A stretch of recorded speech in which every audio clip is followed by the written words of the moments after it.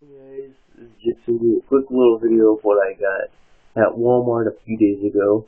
Got two different t-shirts, red, white, and blue vehicles on it, um, and uh, a cat shirt.